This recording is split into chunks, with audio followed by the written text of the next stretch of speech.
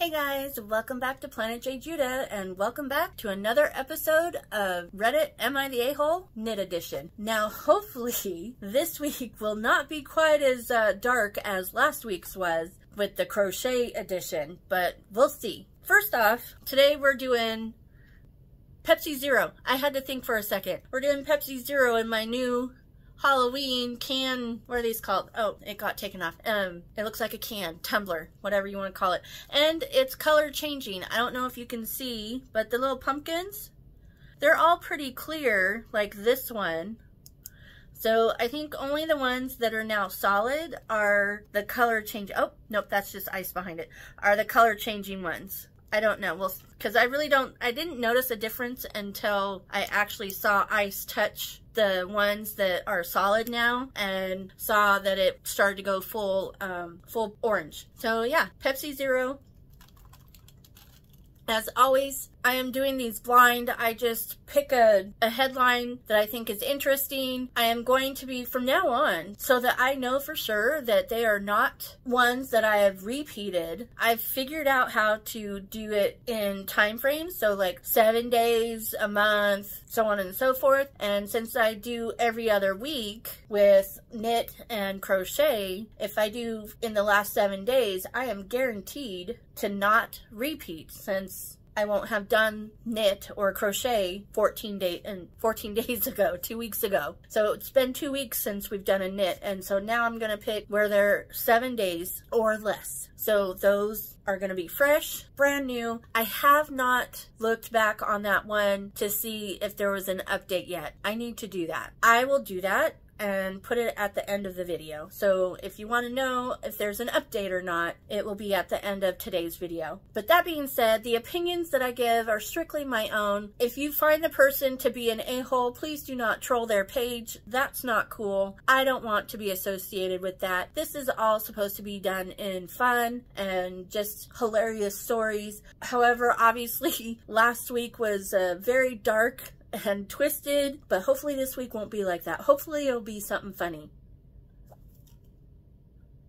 Cross your fingers for something funny. So with that, let's go ahead and find our first story. All right, so knitting is going to be a little bit tougher. I tried the within the past week thing and it literally showed up nothing for knit.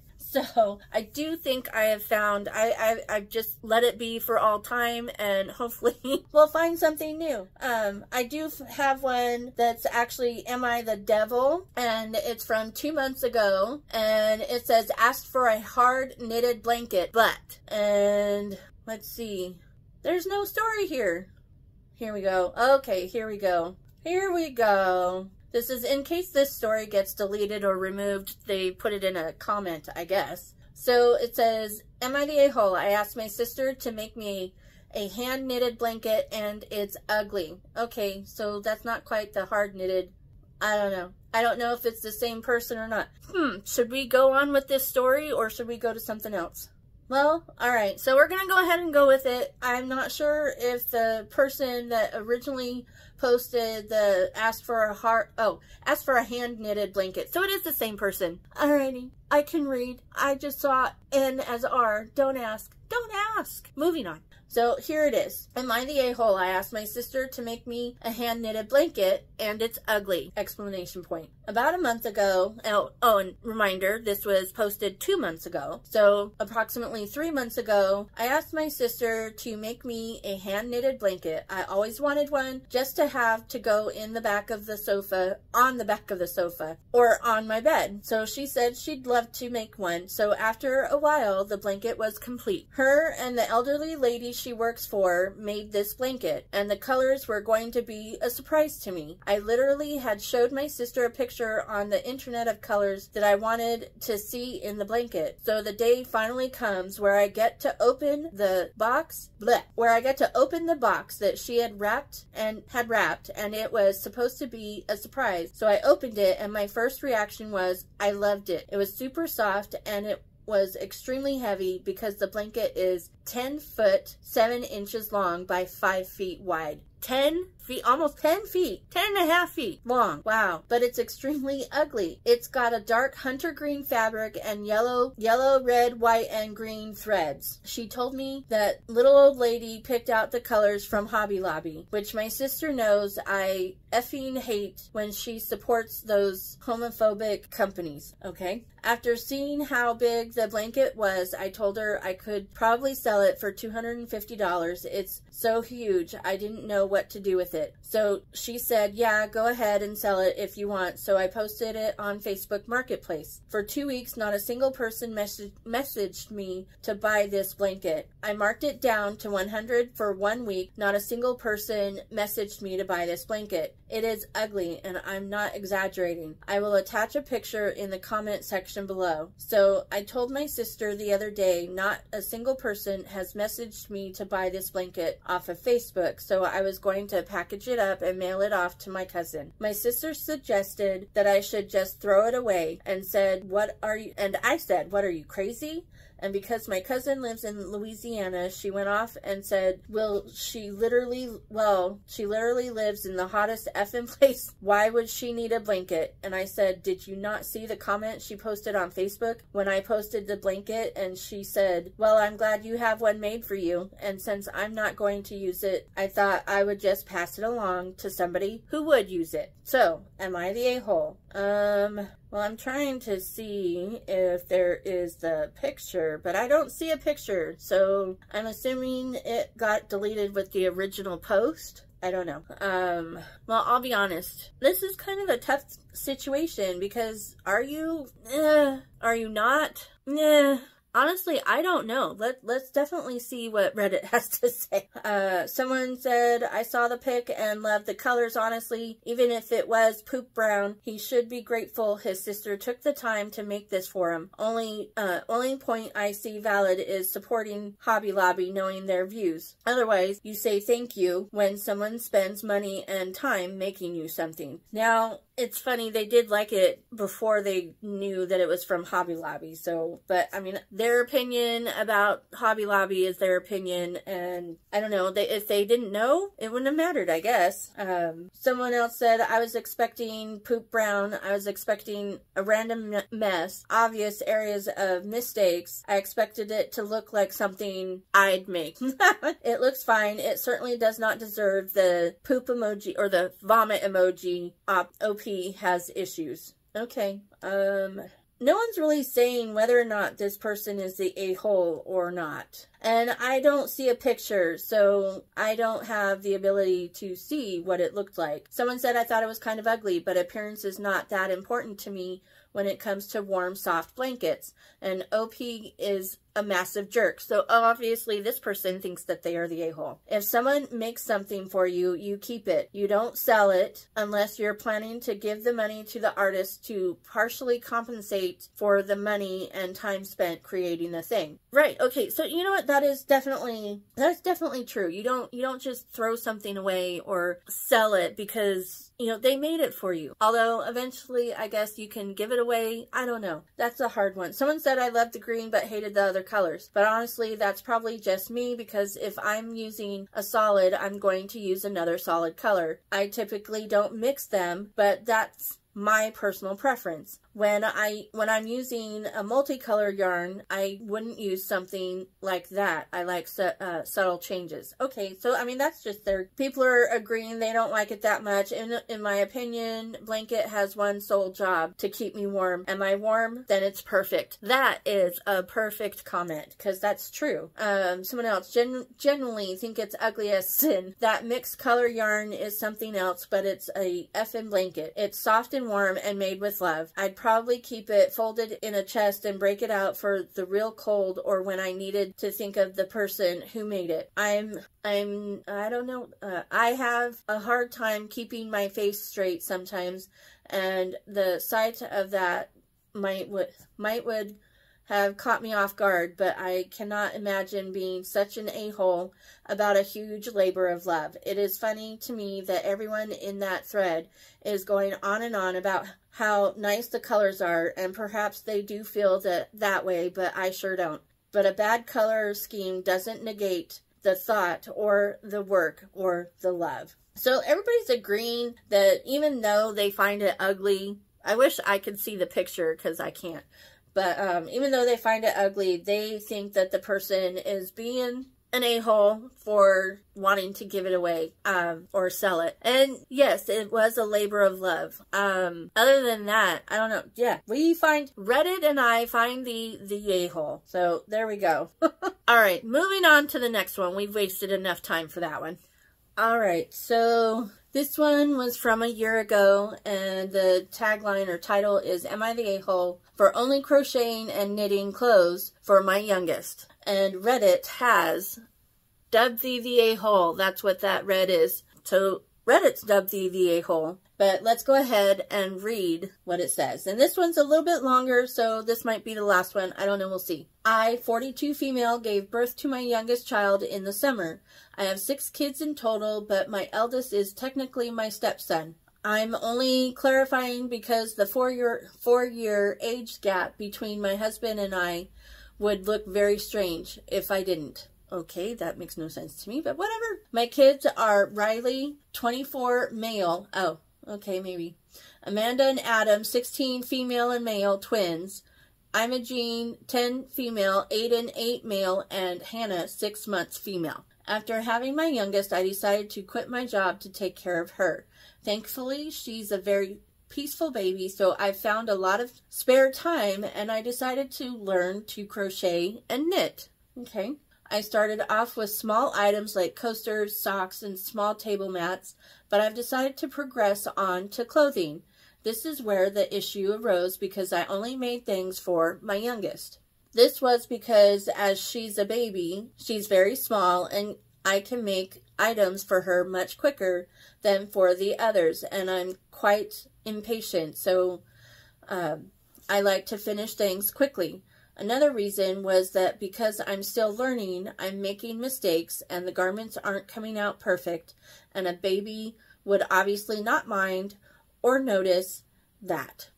However, my, my older children are getting annoyed that I'm not making anything for them. I tried to explain my reasoning, and I promised that I'd start making things for them when I get better at knitting and crocheting but they think that I should make other things instead of only making things for Hannah.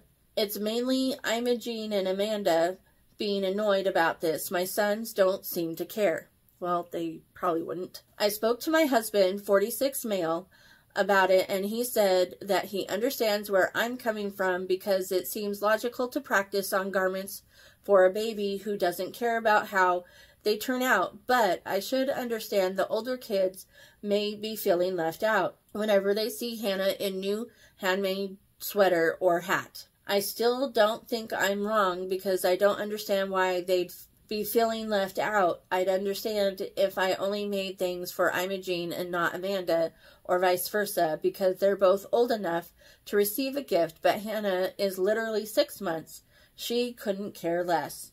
My eldest, Riley, thinks that I am I am wrong and this about this, and if I give something to one of the kids, I have to give it to all of them. Okay, now I agree with Riley on that one. And okay, so don't make them clothes, make them a blanket. Something super simple. You know, make a headband, uh, make scrunchies, make a scarf, something that's really simple and basic and isn't going to be too time consuming. A blanket would be a little bit time consuming, but you could still make small items for your older kids. Beanies, hats, they're not that much bigger than a baby's hat. Trust me. Now, I granted, sweaters definitely are a lot bigger and a lot more detailed. And you have to get the the math right and all of that. So um, I agree with the eldest Riley. If you make one something for one, you need to make something for them all. And so in that essence, I agree with Reddit. You are the a-hole. Let me see what Reddit has to say. Alrighty, so the first one says, yes, the a-hole, it's more than clothing, it's your time, attention, and love. Exactly, exactly. A simple scarf or beanie is relatively easy if you're making clothing. I already said that. And they don't, and they do not expect perfection. Probably, yeah, that's true. Uh, you're not horrible by any means, but I think you're viewing their requests wrong. As a mom, it's an honor when my kids ask me to make them something. That's rad as hell that they want to rock your stuff. Take it as a compliment. Yeah, exactly. Exactly. Um, let's see. Here's another one. Yes, the a-hole. New baby in the house. All kids feel a little left out due to change. The girls care about the time you are putting into these things. It's it is time they feel they are being left out of. They feel like when you're making the baby's clothes, that time in their teenage mind and emotions equates to attention and love. They do not care about mistakes. They feel left out because you are not only spending more time with the new baby because it's a baby, you have to, and you have to, you are also spending more time on the baby's clothes. Take the girls to pick out a color of yarn and make them each a hat. Hats are small and easy to make because it's really basic. You could also use one of the lacy type stitches, like a granny square uh, type, to complete them faster. Exactly. I say yes the a-hole because girls are telling you they are hurt and you cannot see why because all you are worried about is doing something perfectly. They don't care about mistakes. 90% of humans would never notice a flaw or mistake in a handmade, knitted, or crocheted item. So stop thinking in those perfection mistake terms. It's not healthy. Agree. Agree. I agree. Oh, someone said hats, scarves, leg warmers, coasters, trivets, and the like are all easier than baby clothes in my opinion. I crochet and are and are easy gifts for the older kids to show you're thinking about them. They're the ones who are going to appreciate the gifts immediately in the moment uh, compared to a baby. Not saying you shouldn't make stuff for the baby, but that the baby shouldn't be your only one you're making stuff for when you have other kids. Not only that, making stuff for the kids can be a way to bond. Like you said, that, uh, or like the other poster uh, commenter said, let them pick out the yarn type and colors. Let them pick out the main stitch. It'll force you to practice if you really want to progress in your hobby. Hell, make the, maybe they might even be open to being taught. And then they can crochet and knit right alongside. Knitting circles are things for a reason. So, yes, everybody agrees that they are the a-hole. So we agree they are the a-hole. Because, yeah, it's not fair to the other five kids that would have more understanding. The, exactly, the baby doesn't understand, doesn't care, doesn't even recognize what's being done, but the other kids are, and you're using your time and energy just on the baby, and that's that's not cool. So I also dubbed the the a-hole. All right, let's see. Maybe I can find one more.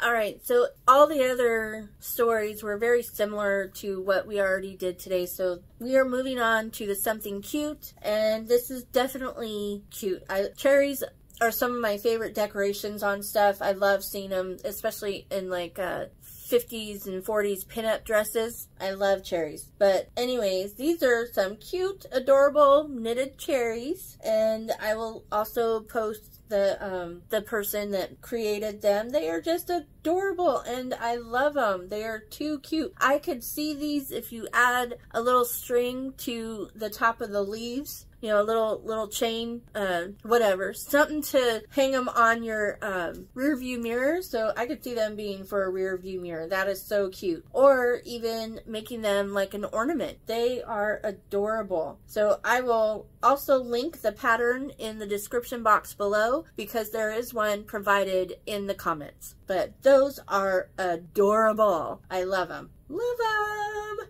All right, I'm off to see if there's any update on last week's scary situation that we had. I will link last week's video also in the description box below if you have not seen it because it got pretty intense. So go check out last week's video for crochet um, Reddit Am I the A-hole?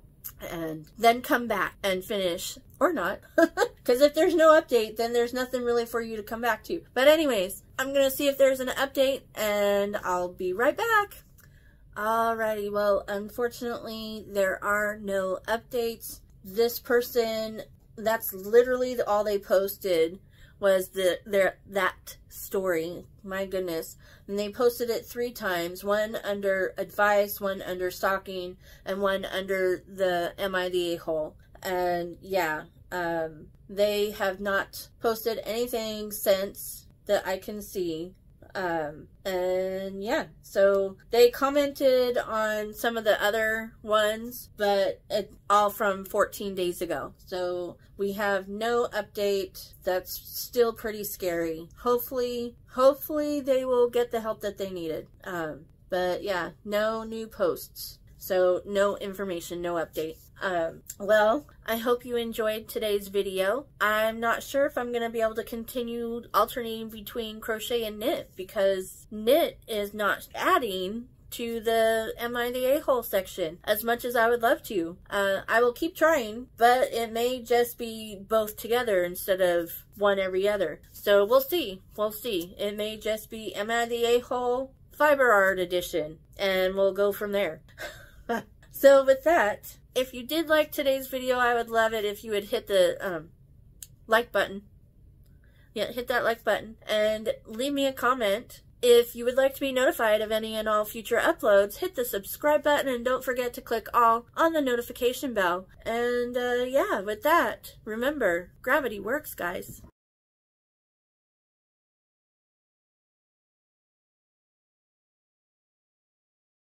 Uh, at least it was a tamer episode today.